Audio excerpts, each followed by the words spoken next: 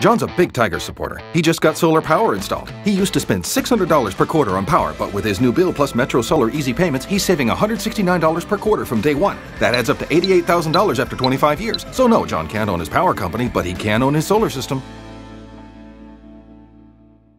Peter, thanks for joining us on Roar Vision. Thanks to Metro Solar. We'll go through the good news on the injury front first. Uh, Alex Rance and Brett Deledio back on the field this week. Uh, yeah, both Alex and uh, Lids will be playing this week, and uh, look, it's been frustrating, but great now to have him back in the side, and uh, hopefully um, it'll boost the team up to better results. And um, yeah, we're all really looking forward to having him there on Sunday. Uh, some disappointing news today that Jake King has gone in uh, for a procedure to fix his toe. Yeah, Jake's uh, had a, a, pretty irritated toe, and it's been ongoing now for, for quite a while. Um, had some surgery at the end of last season, and um, sort of was going quite well, but flared up recently.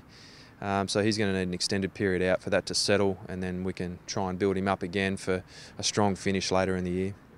Uh, just to check up on some of the, the blokes that are still in uh, the injury room, uh, Ivan Maric, how's he going? Ivan's joined in training with the, the main group this week, which is great. He's feeling really good.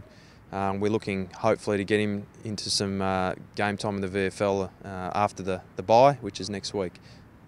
And just finally, uh, Chris Knights, also with some knee soreness. How's he travelling? Yeah, Chris very similar. Hopefully, getting him back into some gameplay round nine after the bye. Uh, feeling a lot better. You know, it was a it was a pretty serious injury last year, and uh, he did a great job with his rehab over the pre-season.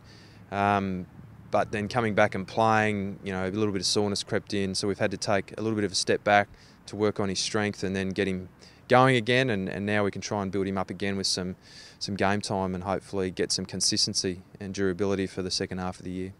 Thanks for joining us, mate. Thank you.